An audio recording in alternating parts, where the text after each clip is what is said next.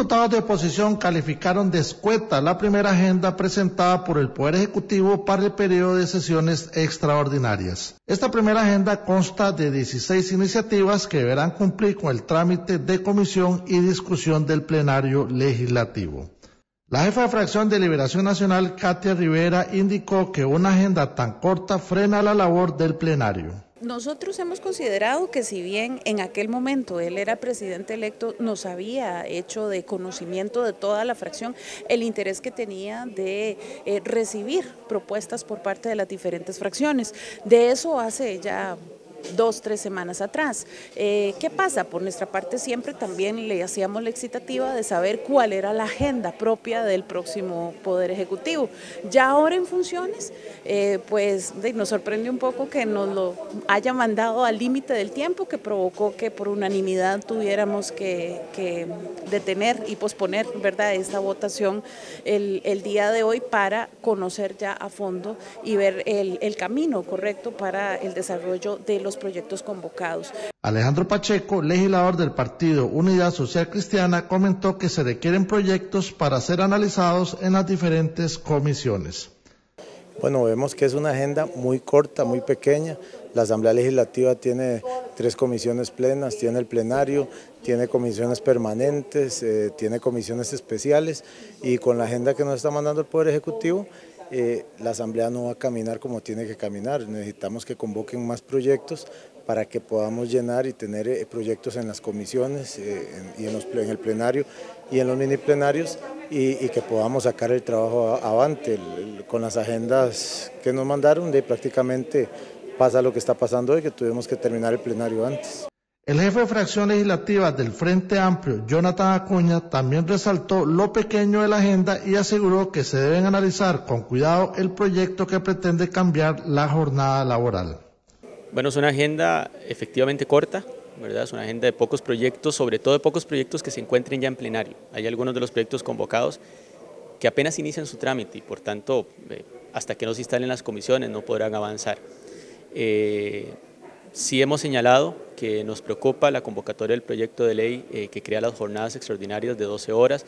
Es un proyecto de ley que requiere un análisis a fondo sobre sus impactos, que tiene señalamientos del INAMO, del Ministerio de Trabajo, sobre posibles afectaciones a las personas trabajadoras, a su salud, a su vida familiar, eh, que además tiene, eh, considero, un efecto más bien pernicioso sobre la generación de empleos porque concentra mayor cantidad de horas en menos personas empleadas y que creo que tenemos que dar una discusión sensata y serena sobre eso. Por su parte, Fabricio Alvarado de Nueva República aseguró que la agenda debería ampliarse para que las comisiones puedan trabajar.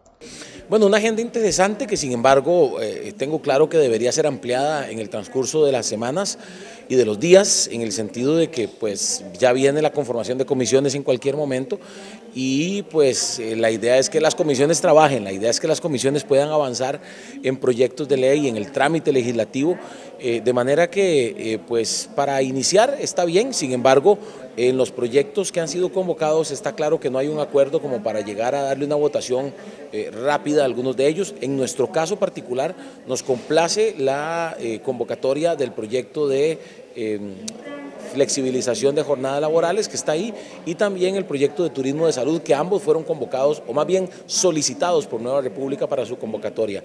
El jefe de fracción del Partido Liberal Progresista, Eli Freisan, afirmó que la agenda, a pesar de contar con pocos proyectos, se cuentan con iniciativas interesantes. Bueno, me parece que hay proyectos importantes, interesantes, como el de em, jornadas excepcionales, el proyecto de la eh, recuperación de la riqueza tunera, que queremos revisarlo, que no le hayan metido goles en el último mes, mes y medio de la, anterior asamblea, pero que en principio podríamos estar de acuerdo con él.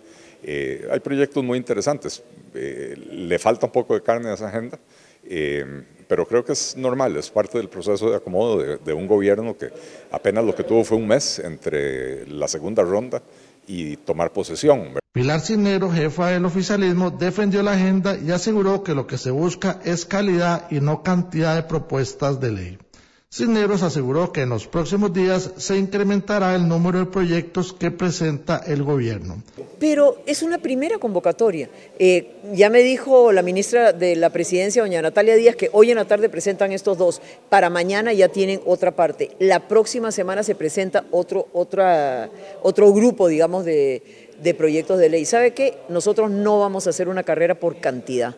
Vamos a hacer una carrera por calidad de los proyectos, proyectos que realmente impacten a la ciudadanía y proyectos que tengan una, hagan una transformación para el país. Durante los meses de mayo, junio y julio, la agenda de proyectos de ley es manejada por el Poder Ejecutivo.